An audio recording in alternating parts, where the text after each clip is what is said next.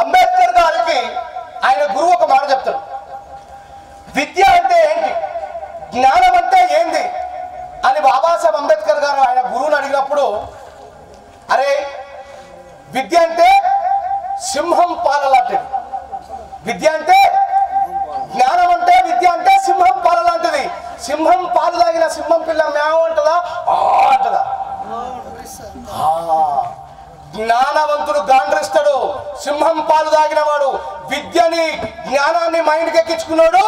గర్జిస్తాడు కానీ పిరిగి పంద ఇంట్లో వండరా అసంతోళ్ళు తయారవుతారు విద్య నేర్చుకుంటానని బాబాసాహెబ్ అంబేద్కర్ గారు. ఒకటే ఒక మాట చెప్తా ఇప్పుడు నా స్టేజ్ ముందర ఉన్నటువంటి మనలో ఎవరైనా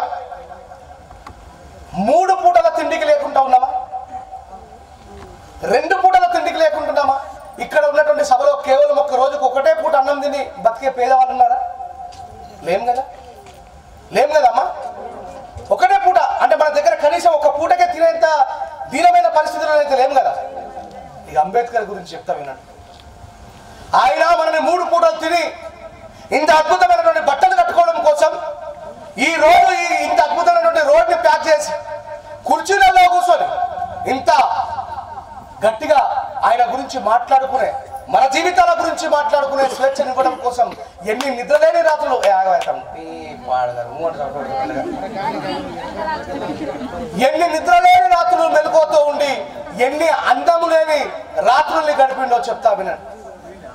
ఈ రోజు ఈ సభలో ఉన్నటువంటి ప్రతి వ్యక్తి కూడా రెండు పూటల భోజనం చేసే పరిస్థితిని కల్పించిన బాబాసాహెబ్ అంబేద్కర్ గారు ఆయన రోజంతా ఏమి తిని బతికిరో చెప్తా ఆయన మన కోసం ఎంతమంది పిల్లల్ని మన కోసం అంటే మాలా మాదిగల కోసం కాదు భారతదేశంలో ఉన్నటువంటి పీడితులందరి కోసం బాబాసాహెబ్ పోరాటం చేశారు. చాలా మంది ఏమని చెప్తారంటే అంబేద్కర్ మానవాదుల నాయకుడు కాదు తప్పు. బాబాసాహెబ్ అంబేద్కర్ ఈ దేశానికి నాయకుడు ఈ ప్రపంచానికి నాయకుడు. ఈ రోజు ఈ అంబేద్కర్ గారి పండుగని ఈ ఏం జిల్లా నల్గొండ జిల్లాలో కొత్తపేట గ్రామంలోనే కాదు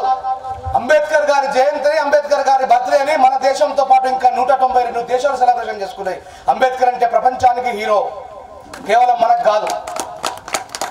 అయితే బాబాసాహెబ్ అంబేద్కర్ గారు ఈ దేశం నుంచి వేరే దేశానికి వెళ్ళి చదువుకుంటే ఇప్పుడు ఇందాక నరేష్ అని చెప్తూ మన పిల్లగాలు ఎసుడు చదువు చదువుతున్నారంటే ఈడికెళ్ళి హైదరాబాద్ దాకా పోయి చదువుకుంటే ఆ గంత దూరం పోవాలా? గంత దూరం పోవాలా? ఇప్పటికీ కూడా మనకు బయట దేశం అంటే ఎట్లా ఉంటుందో తెలియదు కానీ మన అయ్యా అప్పుడే లండన్ పోయి చదువుకొని వచ్చాడు బాబాసాహెబ్ అంబేద్కర్ గారు. ఆయనకి రోజు హాస్టల్లో ప్రొద్దున బ్రేక్ఫాస్ట్ మాత్రమే ప్రొవైడ్ చేసేవాళ్ళు. బ్రేక్ఫాస్ట్ అంటే ఉదయం అల్పాహారం. దాంట్లో అంబేద్కర్ గారికి ప్రతిరోజు ఒక రొట్టె బన్ను బ్రెడ్ డబల్ రోటీ. ఇంకా ఉంటుందా ఒక బ్రెడ్ ముక్కనిచ్చేటోళ్ళు. ఈయన ప్రొద్దున్నే వెళ్ళి లైబ్రరీలో చదవడానికి పోవాలి. ఎనిమిది సంవత్సరాలు చదవాల్సినటువంటి చదువుని మంచిగా గుర్తుపెట్టుకోండి. ఎనిమిది సంవత్సరాలు చదవాల్సిన చదువుని బాబాసాహెబ్ అంబేద్కర్ రెండు సంవత్సరాలు ఎనిమిది నెలల్లో చదివిండు. ఎనిమిది సంవత్సరాలు సాధారణమైన వ్యక్తి ఎనిమిది సంవత్సరాలు చదవాలి ఆ చదువు కోసం. అంత చదువుని కేవలం రెండు సంవత్సరాలు ఎనిమిది నెలల్లో ముగించిండు. ఆ బ్రెడ్ ముక్కను తీసుకొని జేబులో పెట్టుకొని లైబ్రరీలోకి పోయి కొంచెం కొరుక్కొని ఆకలినప్పుడు మళ్ళా దాన్ని జేబులో పెట్టుకొని నీళ్ళు తాగి మళ్ళా మధ్యాహ్నం టైంకి ఆకలి అయితే అదే బ్రెడ్ ముక్కను కొంచెం కొరుక్కొని నీళ్ళు తాగి మళ్ళా రాత్రికి కూడా రూమ్కి వచ్చిన తర్వాత మిగిలిపోయిన చిన్న ముక్కని తీరి నీళ్ళు తాగి బతికింది ఇప్పుడు చెప్పండి మనలో అంబేద్కర్ గారి కంటే పేదోలు ఉన్నారా? ఒకటే రొట్టె తిని బతికిన అంబేద్కర్ పేదోడా? రెండు పుటల బువ్వ తింటున్న మనం పేదోళ్ళమా? చెప్పాలి. ఒకటే రొట్టె తిని రోజంతా ఒక రొట్టె తిని బతికిన అంబేద్కర్ పేదోడా ఇంకా రెండు పూటల బువ్వ తింటున్న మనం పేదోళ్ళమా మరి సిగ్గు లేకుండా మన పిల్లగాళ్ళకి ఎట్లా నేర్పుతున్నారు అరే ఒకటే పూట ఇచ్చినటువంటి ఒక రొట్టెని రోజంతా తిని అంబేద్కర్ చదువుకుంటే రెండు పూటలు పువ్వు తినేటువంటి ఇంట్లో పుట్టి నువ్వు ఎందుకు చదువుకుంటున్నావని మన పిల్లలకి ఎందుకు నేర్పట్లేదు మనం?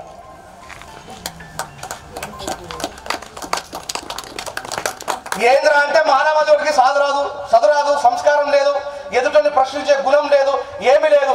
ఏంది అంటే మేము కూలోళ్ళం సార్ మేము పేదోళ్ళం సార్. ఆయన కంటే పేదోళ్ళమా?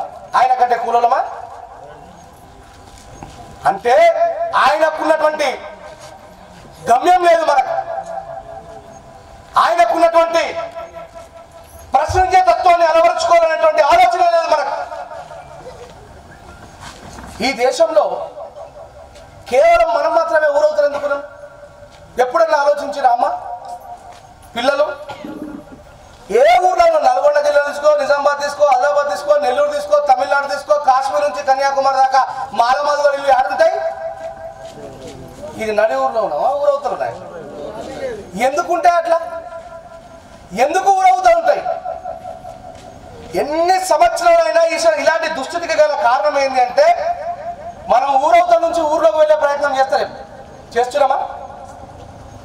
ఇందాక ఆయన ఎవరో పెద్ద ఆయన మాట్లాడుతూ చాలా గొప్ప మాట చెప్పిండు. రెండే రెండు బట్టలు ఉన్నా సరే వాటిని మంచిగా సౌడ్లో ఉతుక్కొని మల్లె పువ్వులాగా ఉండి మిగతా వాటిని తక్కువ లేకుండా బతకాలన్నాడు. దాన్ని స్వాభిమానం అంటాడు బాబాసాహెబ్ అంబేద్కర్ గారు.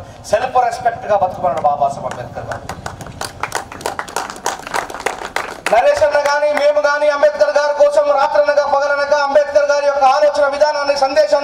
గ్రామానికి పంచాలనే ఆలోచన మేము ప్రతిసారి అలసిపోయినప్పుడు బాధపడ్డప్పుడు డబ్బులు లేనప్పుడు తినడానికి టైంకి అన్నం కూడా దొరికినప్పుడు ఆయననే చూస్తాం. ఈరోజు నేను ఆయన కంటే ఎక్కువ కష్టపడ్డానని అప్పుడు మాకేమనిపిస్తుంది తెలుసా? ఆయన పెద్ద మహాశిఖరంలా కనిపిస్తే మేము చిన్న ఇసుక రేణులో ఒకరోజు టైంకి అన్నం దొరకలేదు. ఇలా రాగానే ఎందుకన్నా అంటే పొద్దుగల చాలా తొందరగా తిన్న ఆకలి అవుతుంది ఒకవేళ నేను తినకపోతే మీకంటే ముందు నాకే నిద్ర అందుకే కార్యక్రమం నిర్వాహకులు సార్ పొద్దున్న బోవెట్టు సార్ పిలిచి అంటే బాబాసాహెబ్ అంబేద్కర్ గారితో పోల్చుకునే ఒకవేళ కార్యక్రమ నిర్వాహకులు లేదు లేదన్నా మేము ఇప్పుడు అన్నం పెట్టాం మీటింగ్ అయిపోయిన తర్వాత పెడతామన్నా ఓర్చుకునేటోడు. ఎందుకంటే ఆ మహానుభావుడు అంత మహనీయుడు ఆ మహానుభావుడు అంత గొప్పోడు. ఒకవేళ ఈ అంబేద్కర్ అనేటువంటి వ్యక్తి యొక్క జ్ఞానం ఈ సమాజానికి అర్థమైతే ప్రశ్నిస్తుంది వాళ్ళ హక్కుల కోసం అడుగుతుంది. ఈ అంబేద్కర్ అనే వ్యక్తిని వీలైనంత దూరంగా పెట్టాలని చెప్పేసి ఈ దేశంలో కొద్దిమంది కుట్ర చేశారు కాబట్టి మీ ఊరికి బాబాసాహెబ్ అంబేద్కర్ గారు రావడానికి నూట ముప్పై రెండు సంవత్సరాల తర్వాత ఆయన పుట్టినాక అరవై ఏడు సంవత్సరాలు ఆయన చనిపోయిన తర్వాత కూడా అరవై ఏడు సంవత్సరాల తర్వాత బాబాసాహెబ్ అంబేద్కర్ గారు మీ ఊరికి వచ్చినంటే మీరు జ్ఞానానికి ఎంత దూరం ఉన్నారో ఆలోచించుకోండి మీరు. మీరు జ్ఞానానికి దూరం ఉన్నట్టేనా కదా మీ ఊర్లో శ్మశానం లేకపోతే ఎంఆర్ఓ గారి దగ్గరకో కలెక్టర్ గారి దగ్గరకో వెళ్ళి అర్జీ పెట్టుకుంటారా అడుగుతారా ఎంఆర్ ఆఫీస్కి పోయి సార్ మా ఊర్లో శ్మశానం లేదని అడుగుతారా సార్ మా ఊర్లో శ్మశానం ఎందుకు లేదని అడుగుతారా? చెప్పాలమ్మా. సారు మా ఊర్లో శ్మశానం లేదని అడుగుతారా? సారు మా ఊర్లో శ్మశానం ఎందుకు లేదని అడుగుతారా? సారు మాకు శ్మశానం లేదు సారు. ఇలాంటి దీనమైనటువంటి దీన స్థితిలో మనం ఉండడానికి గల కారణం అజ్ఞానం అంబేద్కర్ మన ఊరికి రాకపోవడం అంబేద్కర్ గారి చేతిలో ఉన్న రాజ్యాంగంలో ఏముందో తెలుసుకోకపోవడం. మేము అడుగుతాం అట్లా? మేము అడుగుతాం అట్లా? ఎంఆర్ఓ గారి దగ్గర వెళ్ళి అని అడుగుతామా ఏంది మీకు మాకు తేడా? మాకు అంబేద్కర్ గారు అర్థమైనరు మీకు అర్థం కాలేదు. అందుకోసమే కదా మీ ఊరందరూ ఇక్కడ దాకా పిలిపించింది మమ్మల్ని. ఆయన చేతిలో ఉన్న పుస్తకం భగవద్గీత కంటే గొప్పది. ఆయన చేతిలో ఉన్న పుస్తకం బైబుల్ కంటే గొప్పది. ఆయన చేతిలో ఉన్నటువంటి పుస్తకం ఖురాన్ కంటే గొప్పది. ఈ మాట మాట్లాడితే కొద్దిమంది గాలి కొడుకు మండుతుంది. ఈ కెమెరా చెప్తున్నా మీకు కాదు. అరే నీ భగవద్గీత కేవలం హిందువుల తలనాత మారుస్తుందేమో. నీ ఖురాన్ కేవలం నీ గీత్ మన బైబుల్ క్రిస్టియన్ల తర్వాత మారుస్తుందేమో ఒకవేళ బైబుల్ హిందువుల తర్వాత మారుస్తుందా? కురాన్ ఇంకొకల మతాల తర్వాత మారుస్తుందా? మరి నా బాబు బాబాసాహెబ్ అంబేద్కర్ ఈ బాబు అంటే కూడా ఒకటి నొప్పి వచ్చింది వీడియో వేసింది నా మీద. అక్కడ చూసినారే రంజన్ రాజేశ్వర భార్య నా బాబు కాదరా బ్లడీ ఫూల్ నెహ్రూ గారు చెప్పిండ్రు ఈ దేశానికే బాబు బాబాసాహెబ్ అంబేద్కర్ అని చెప్పేసి. ఇంత ఇండియాలో కావాలంటే గూగుల్ అవుట్కొని అంబేద్కర్ని ఈ దేశపు మొట్టమొదటి ప్రైమ్ మినిస్టర్ నెహ్రూ గారు ఏమన్నారంట అయ్యా ఈ ఇంట్లో తండ్రి ఎట్లాగైతే బిడ్డల్ని సన్మార్గంలో చేయబట్టుకుని నడిపిస్తాడో ఈ దేశాన్ని